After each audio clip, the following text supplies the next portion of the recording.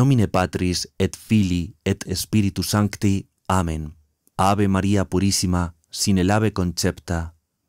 Del año litúrgico de Don Próspero Granger, 15 de septiembre, fiesta de los dolores de la Santísima Virgen María. Después de dedicar el último recuerdo a la infancia de María y cerrar esta alegre octava de la Natividad de María, he aquí que la Iglesia, sin transición, nos propone meditar hoy sobre los dolores que marcarán su vida de Madre del Mesías y de corredentora del género humano. En los días de la octava no venía a la mente la idea del sufrimiento, ya que entonces considerábamos la gracia, la belleza de la niña que acababa de nacer. Pero si nos hicimos la pregunta, ¿qué será esta niña? Al instante hemos comprendido que, antes que todas las naciones la proclamasen un día bienaventurada, María tenía que padecer con su Hijo por la salvación del mundo. El sufrimiento de María. A través de la liturgia, ella misma nos invita a considerar su dolor. Oh vosotros, todos los que pasáis por el camino, mirad, ved y decid si hay dolor semejante a mi dolor Dios me ha puesto y como fijado en la desolación. Lamentaciones 1, 12 y 13. El dolor de la Santísima Virgen es obra de Dios. Al predestinarla para ser la madre de su Hijo, Dios la unió indisolublemente a la persona, a la vida, a los misterios, al sufrimiento de Jesús para ser en la obra de la redención su fiel cooperadora. Entre el hijo y la madre tenía que haber comunidad perfecta de sufrimiento. Cuando ve una madre padecer a su hijo, ella padece con él y siente de rechazo todo lo que él padece. Lo que Jesús padeció en su cuerpo, María lo padeció en su corazón, por los mismos fines y con la misma fe y el mismo amor. El Padre y el Hijo en la eternidad participan de la misma gloria, decía Bosuet. La madre y el hijo en el tiempo participan de los mismos dolores. El padre y el hijo gozan de una misma fuente de felicidad. La madre y el hijo beben del mismo torrente de amargura. El padre y el hijo tienen un mismo trono. La madre y el hijo una misma cruz. Si a golpe se destroza el cuerpo de Jesús, María siente todas las heridas si se le taladra la cabeza a Jesús con espinas, María queda desgarrada con todas sus puntas. Si se le ofrece hiel y vinagre, María bebe toda su amargura. Si se extiende su cuerpo sobre una cruz, María sufre toda la violencia. Condolencia. A esta comunidad de sufrimientos entre el Hijo y la Madre se le da el nombre de condolencia Condolencia es el eco fiel y la repercusión de la pasión. Condolerse con alguno es padecer con él, es sentir en el corazón como si fuesen nuestras sus penas, sus tristezas, sus dolores. De ese modo la condolencia fue para la Santísima Virgen la participación perfecta de los dolores y en la pasión de su Hijo y en las disposiciones que en su sacrificio le animaban. ¿Por qué padece María? Parecería que no debía haber padecido la Santísima Virgen, ya que fue concebida sin pecado y no conoció nunca el menor mal moral. El padecer tiene que ser un gran bien, porque Dios, que tanto ama a su Hijo, se le entregó como herencia, y como después de su Hijo a ninguna criatura ama Dios más que a la Santísima Virgen, quiso darla a ella el dolor como el más rico presente. Además convenía que por la unión que tenía con su Hijo pasase Nuestra Señora a semejanza de Él por la muerte y por el dolor. De alguna manera era eso necesario para que aprendiésemos nosotros de uno y de otro cómo debemos aceptar el dolor que Dios permite para nuestro mayor bien. María se ofreció libre y voluntariamente y unió su sacrificio y su obediencia al sacrificio y a la obediencia de Jesús para así llevar con él todo el peso de la expiación que la justicia divina exigía. hizo bastante más que compadecerse de todos los dolores de su Hijo, tomó parte realmente en la pasión con todo su ser, con su corazón y con su alma, con amor ferventísimo y con tranquilidad sencilla. Padeció en su corazón todo lo que Jesús podía padecer en su carne, y hasta hay teólogos que opinaron que Nuestra Señora sintió en su cuerpo los mismos dolores que su Hijo en el suyo. Podemos creer, en efecto, que María tuvo ese privilegio con el que fueron distinguidos algunos santos.